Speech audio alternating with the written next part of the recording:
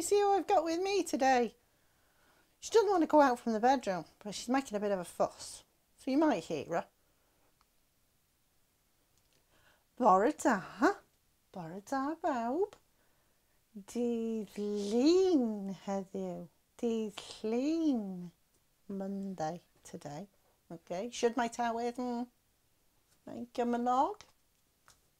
Mae'n cool, not cold. Cool, I'd say. Hmm, yeah, let's hope the sun comes out later. So that's the weather. Now then, should I tea heddiw? How are you today? Should we sing our song again? Have you been practicing? Somebody has. I'll show you in a minute. We get my pictures. So we could say, Bore da ffrindiau, should dwy ti? Bore da ffrindiau, should dwy ti? Bore da ffrindiau, should dwy ti? Da iawn, da iawn, diolch. That's a good one, isn't it? We'd like it if you were if you were feeling very good. That'd be fine. Um, what about this one? Bore da ffrindiau, should dwy ti? Bore da ffrindiau, should dwy ti? Bore da ffrindiau, should dwy ti? Dwi'n wedi blino. That's not so good, is it? But sometimes in the morning, that is how you are. What about... Oh dear. Don't really want you to be feeling like this. Bore da ffrindiau, should dwy ti? Bore da ffrindiau, should dwy ti? Bore da ffrindiau, should dwy ti? Dwi'n ofnadwy. Oh, don't want you to feel like that really. Could just pretend. Now then, I am very, very pleased to tell you somebody sent me a lovely video of themselves singing that song. Should we have a look? Holly Hearn, here we go. Holly's recorded herself singing Borda Friendly. Ready? Friendly, shit oi tea. Borda Friendly, shit oi tea. Borda Da iawn. Hey, what do you think of that? How clever is that? So I sent that to Mrs. Hall and she was very excited. Now, if anybody else wants to learn it all by themselves, send me a video. We'll send it to Mrs. Hall. Is that okay? Okay. Now, let's a. It's not groaning. Moaning dog. She's just had to have a bath because she's a bit stinky and she's not very happy about having a bath. So she's moaning now. Anyway, let's have a look at our sounds. I made some cards just so we can practice. Are you ready? Ready for a challenge? See if you can remember what all these say. These are all the sounds we've done so far. Okay, you ready? Here we go. Let's see if Sam can see that one. Okay, remember what that one says? It's That sound says. Have a look at this one. Remember that one? Ah, ah, ah, ah. Ants on my arm. That sound says ah. Next one. What does this one say? Remember? T, t, t, t, t. When you watch the tennis game, this sound says. About this one. Can you remember what this one says? This sound says puff out the candles on the pink pig cake. Shush now. Oh, what a noisy girl. Just because you don't know these letters, I'm making an old fuss. Shush now. Fuss bucket. Okay. Oh! Two more. Remember this one? Ready? Eh, eh, eh. Remember Inky Mouse? This sound says eh. And, oh no, we did that one. This way. This one says, remember, this is from last week. Mm, remember the aeroplane? This sound says, mm. I think we're going to have to let Pepper out now. It's really tricky because Sam's got the camera started. Pepper, want to come and lie down? All the boys and girls are listening when you're making your sad sound. Don't know. Don't know what her problem is today. She's a bit of a misery cat. Okay, so did you remember some of those? Well done if you did. We've Got a game to play today with our sounds. I've got my new baking tray. Happy me. And I put the letters on there. So we've got it, it, mm, ah, and. And then I've got some picture cards. So we're going to see which letter we need to be the first sound in these words. So our first one, can you see that, Sam? Yeah, there we go. It's a tiger. T -t tiger, see that word? Tiger. Now, tiger starts with one of these letter sounds. Which one could it be? Is it this one? No, that's a p. It's not a tiger. Is it this one? That's a s. And this is not a tiger, is it? No. It's a tiger and it starts with a t, t, t and it is here. T for tiger. Right, there's going to be a bit of a wobble now because we're going to try and get um, Pepper out from the room and she's got to go under Sam's camera so it might wobble. Ooh, wobbly wobbly, wobbly wobbly. Go on then, you fuss bucket. Oh, she's gone. What a fussy dog today. So tiger starts with t, t, t. Well done. Put that back over there. Ready. See that? Remember, it's a, a house made from ice. It's an igloo. Igloo. See that word? Igloo. Starts with so we got to find it now. Is it? Tell me when to start. What there? T -t Tigloo. Is that right? No, it's not a tigloo. Starts with eh. Did you say that one?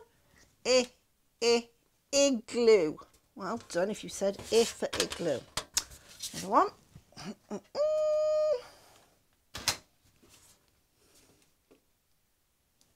Mm -mm. It's a nest. Say that word. Nest starts with. What did you say? Did you say s? Is it a cest? Starts with a mm, so we're going to find mm now. Let's have a see. Where could mm be? Shout out when you can see it. Is it this one? No. That's a t. That would make test. Well, that's not right, is it? No, no, no, no. It's here. Woo! Slide it over. Get it the right way up. Mmm, finessed. Well done if you said, mmm. I got some more of those. We'll play some more of those next time. Thinking about how words are made from sounds, okay? And we're saying the words so we can hear the sounds and then we're finding the right letters. Right, well done. I'm going to put some links up to some worksheets that I found, some Jolly Phonics ones and some other ones where you've got to cut out the sound. So I'm going to put those up. There's lots to be going on with there if you want to do small letter work. So that's for um, mums and dads to have a look at. Okay, we're going to do a little bit more science work today. It's quite a sciencey topic, this one. And um, I've got something here to show you. Let's have a look. Can you see there?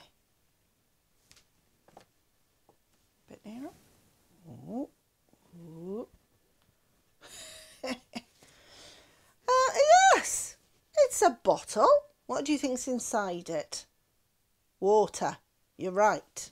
It is water. But there's something else in there as well. Haha. Can you see it? You can't see it. It's a little bit special. Shall I tell you what else is in there? Got to bend down. This is in there. It, well, the bottle isn't, but this is salt. Salt, and there's quite a lot of salt in this bottle. Shall I show you how I made this? It's really easy and you could do this as well. So let's have a look. I took some photos while I made it. So first of all, you just need a bottle. I use quite a big bottle, but you could use a smaller one as well because they've got the same size top and that's the important thing. Okay, but I used a big one just so I'm going to show it to you so it needs to be quite big. So there's my big bottle it's in the sink and I've emptied it and shaken all the water that was in it out. There was a little bit of water left but I emptied that out. Then I took the label off because you can see more clearly. So I peeled off the label. Okay can you see there?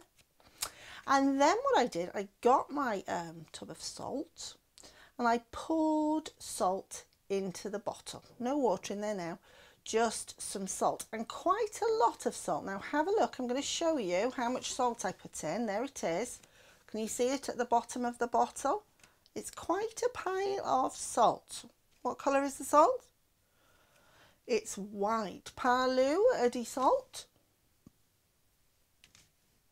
Gwyn. Da iawn. Gwyn.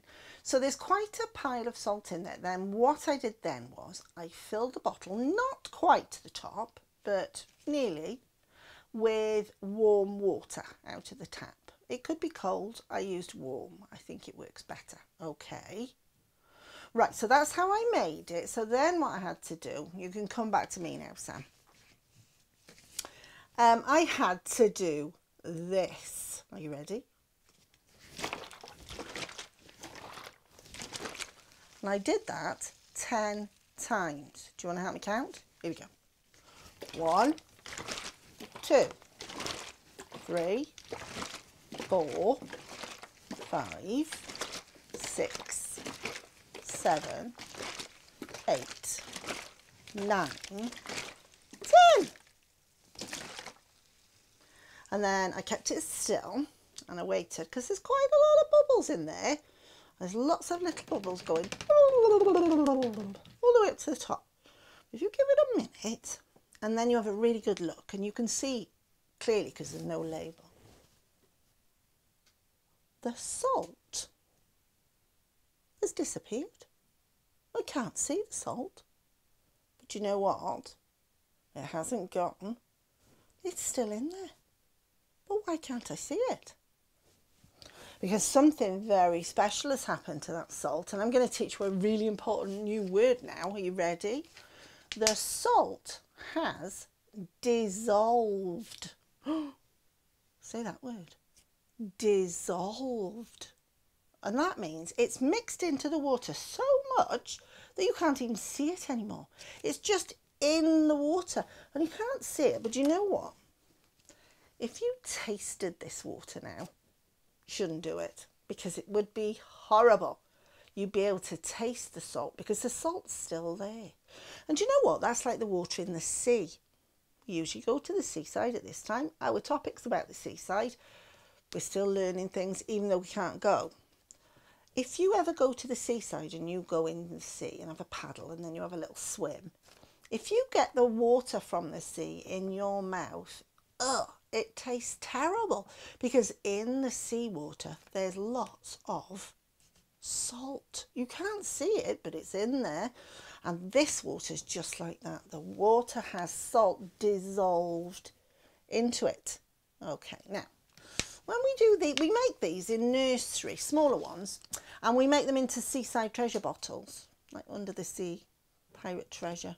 Uh, so what we do is we put the salt in first, and then we put perhaps some nice clean sand.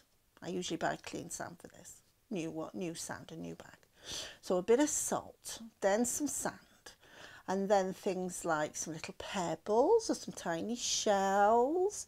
We cut out some little fish, put them in from um, sequin material actually, very sparkly. Some little beads, tiny little coins if we've got them, so it's like a treasure at the bottom of the sea scene.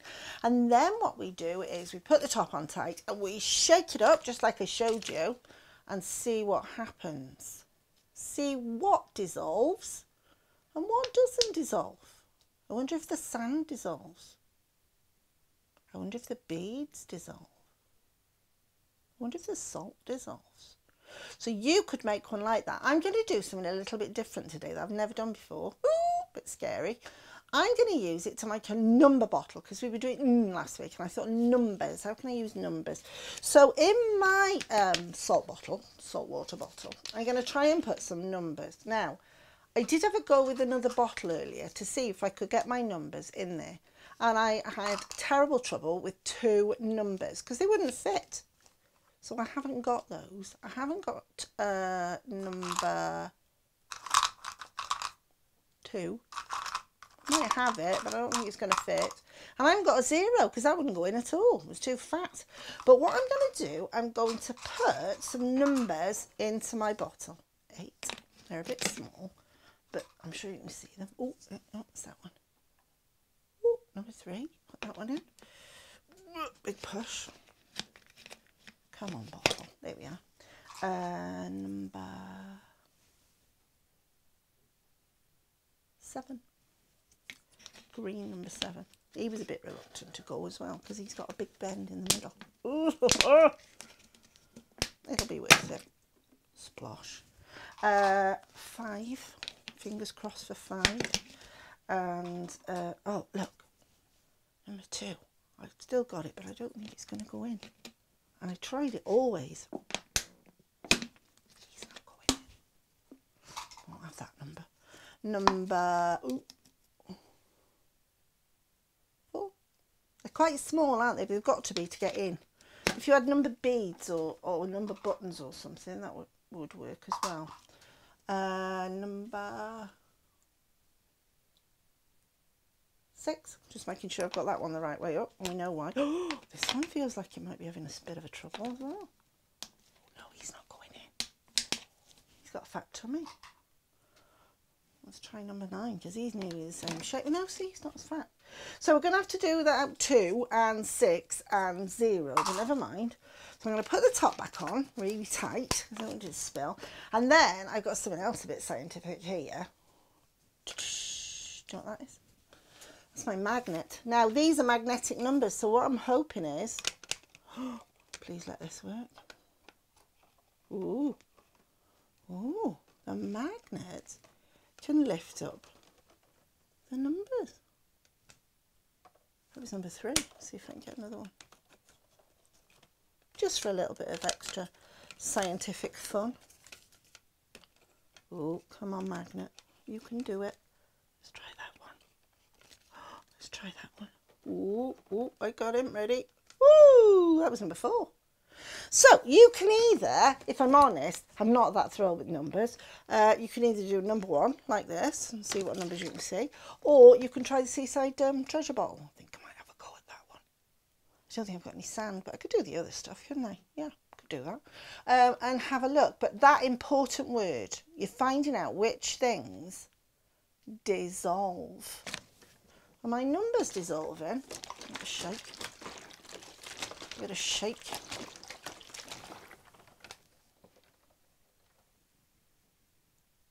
Have they dissolved? Yeah, you still see them, can't you? They haven't dissolved in the water. Well, that's interesting because they're salted. Have a go. See what you can try and find out. I'm not very thrilled with the numbers. I think I'll just stick to the seaside one next time. Okay. Oh, songs. Now, if we were in nursery doing our seaside um, topic, we would be doing some seaside songs. And I love these songs, so we will learn a couple and then when you next get to go to the seaside, perhaps you can sing some there. So the first one is called The Fish in the Sea. Okay, and there's some actions with this one as well, so you can help me. It's really easy. We go, the fish in the sea go swim, swim, swim, swim, swim, swim, swim, swim, swim. The fish in the sea go swim, swim, swim, all day long. Did you make your hand into a, into a fish? Through the water. Right, now this time we need to be jellyfish. And jellyfish are very wobbly. Can you wobble? Ooh. Here we go. The jellyfish in the sea go wibble, wibble, wobble, wibble, wibble, wobble, Wibble, wibble, wobble, the jellyfish in the sea go wibble, wibble, wobble all day long. Last one. I know you love a shark. We need to do a shark. And they're going to go snap, snap, snap with their big jaws, big teeth. Ready? The sharks in the sea go snap, snap, snap, snap, snap, snap, snap, snap, snap. The sharks in the sea go snap, snap, snap all day long. I'm happy now, I've done my seaside songs. There are more verses to that, I usually make some up. So if you want to make up another uh, verse to that, think about another creature that lives in the sea. Think about what action they might do or what noise they might do, and you can make another verse. I might have another one for you next time. Okay, right, that's it for today. It's time to go. Hope you've all had a lovely weekend and had lots of fun. And I hope the weather comes a bit better this week. It's not been too brilliant, has it? But we need the rain, so that's good. But let's have, I hope we have a little bit of sunshine now to go out and play. Right, so I will see you on Wednesday. Have a lovely couple of days. Give me a big wave now and we'll say bye.